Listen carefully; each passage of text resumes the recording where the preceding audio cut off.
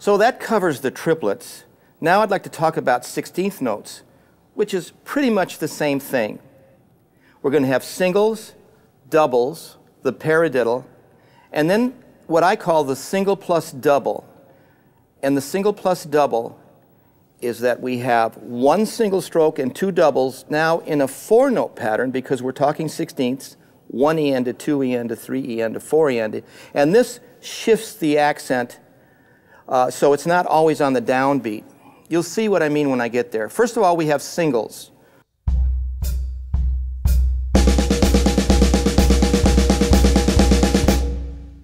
Doubles.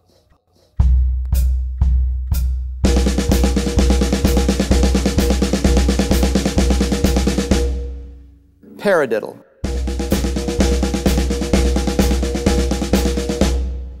Now, the paradiddle itself around the tom-toms can be quite interesting.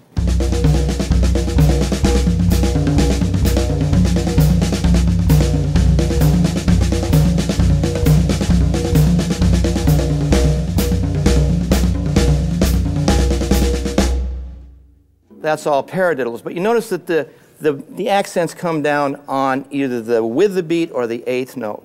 So if we want to have the accents displaced somewhat, then we need to add this single plus double technique. And this goes like this.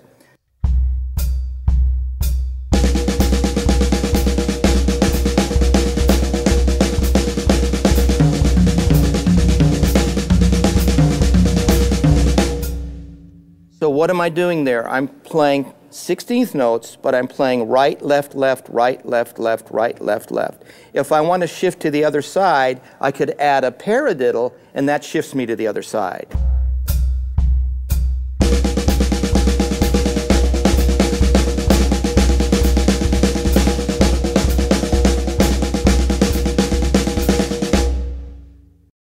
Better yet, if you want to get more abstract with this, you can add an extra double in other words, the hand that's playing the single takes over the double function. The hand that's playing the double takes over the single function, and they just reverse themselves. And now you get kind of a kaleidoscope effect with the rhythm.